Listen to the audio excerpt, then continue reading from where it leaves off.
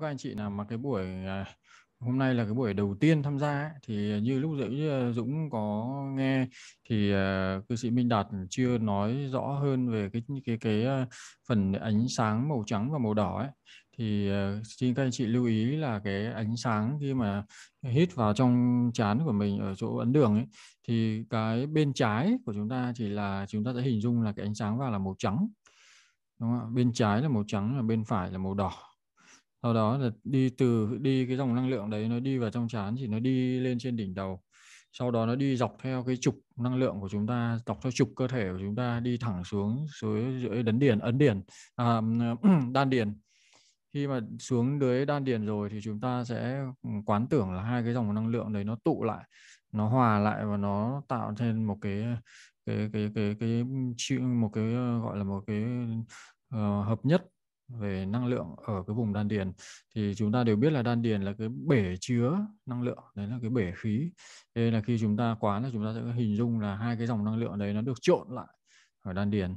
Và do đó thì chúng ta nín lại, chúng ta nín và trộn hai cái dòng năng lượng đấy ở đan điền xong thì chúng ta khi thở ra thì chúng ta sẽ hình dung là ánh sáng màu vàng. Hai cái dòng năng lượng đấy trộn lại bây giờ nó trở thành ánh sáng màu vàng, nó đi dọc lên theo trục của cơ thể đi lên và nó được thở ra ở mũi đấy, thì đấy là cái quy trình mà chúng ta quán. Chúng ta sẽ thực hành trong vòng 5 phút để ờ, chúng ta tích hợp và gọi là tích hợp cái dòng năng lượng này vào trong cơ thể. Thì đây chính là một cái kỹ thuật thở lâu đời từ hàng nghìn năm trước. Nhưng kỹ thuật này sau này sẽ đi vào nếu như các bạn có duyên và đi vào mật thừa thì rất nhiều kỹ thuật này được rất nhiều các cái kỹ thuật của các dòng phái khác nhau, đã lấy đây là một trong những kỹ thuật căn bản. Nhưng nó có một ý nghĩa rất lớn, đó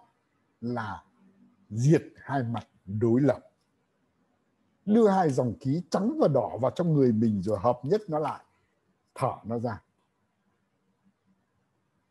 Đấy là một cách thở để dẫn dụ chúng ta bước qua nhị nguyên.